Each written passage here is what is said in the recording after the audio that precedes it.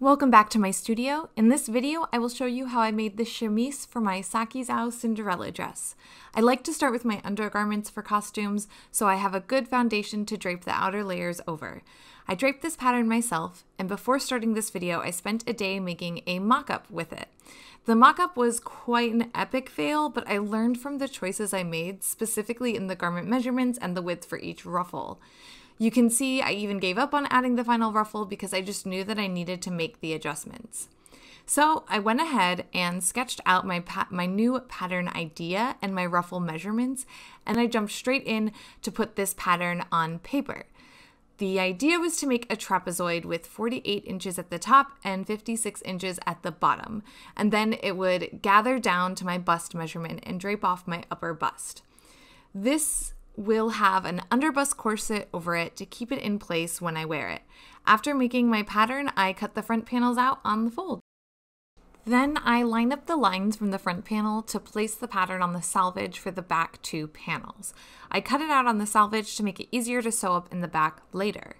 Now it's time to cut my ruffles. My fabric was 120 inches wide and my ruffles were going to be 115 inches long. So I just bumped it up to 120 and cut my pieces by measuring five and a half inches for the width and use my rotary tool to cut through all four layers of fabric at the same time. Before I start sewing, I actually change my needle be to be the size 70-10 for the fabric. This is important because if the needle is too wide, it will actually make my fabric pucker and I don't want that. So now I will be sewing the panels together using a French seam. I explain how to do a French seam in another video that I'll link at the top of this corner.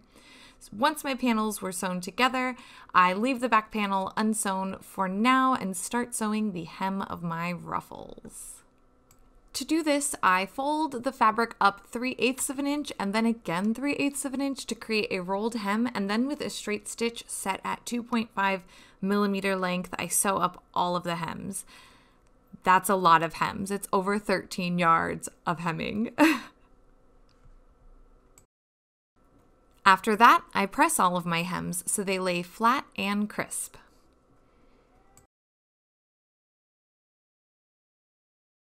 Now I'm going to test out a feature on the Janome HD 3000 called the overcast stitch. This is essentially a way to create a clean edge without French seams or an overlock machine. So I switch my presser foot to the C foot. I change the stitch width to 5. I change the stitch type to 18. And finally, I change the tension to 5. Now it's time to test a piece of this fabric and see how it looks before I actually use it on my 13 yards of ruffles. It looks great to me, so now I'm going to use it on my actual fabric, and this takes quite a bit of time. So here you go in 10 seconds. Once the top of my ruffles had the overlock stitch on them, I mark each ruffle in the middle and two quarters lengthwise so that I could prep for my gather stitches. I chose to hand gather these ruffles because I like how much control I have over the gather placement, but in future video tutorials, I will show you how to use other methods to gather. On every ruffle, I add the base stitch at 4 millimeter length. Then each quarter of the ruffle will get its own base stitch underneath that that I will not backstitch on either side so I can use the thread tails to gather down the piece. Once all the gather stitches are in place, I start pinning my pieces to the top of the base garment, matching my quarter markings to the center and sides of the dress. Then I pull the thread tails together down my ruffle and you evenly disperse the gather placements.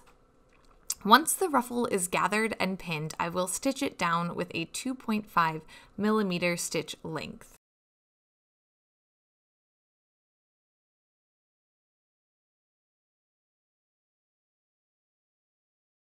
Before moving on to the other ruffles, I actually add a piece of binding to the top that is wider than my ribbon that, uh, that will end up going through it.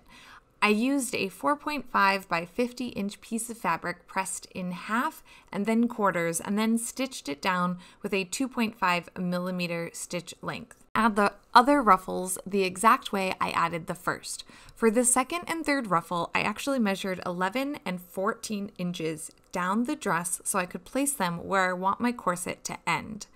Once all my ruffles were added, I can close up the back of the base garment by sewing the right sides together.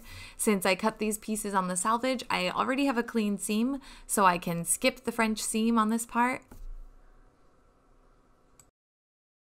The last thing to do is add ribbon to the binding strip by using a safety pin to guide the ribbon through all the way around. This is how I will gather the chemise down to fit over my bust. Then I will hand sew a hook and eye into the back for a little more security and the garment is finished. Overall, this was a pretty quick project. It took about six hours of making a mock-up and then eight hours sewing the actual garment. When I finish my corset to pair with it, I will most likely add spaghetti straps to it to hold it in place, even though they're not in the original art. Thank you so much for watching my video. If you liked this video, please subscribe to my channel and stay tuned for next week's video where I will be making the corset to go over this chemise. See you next time and happy sewing!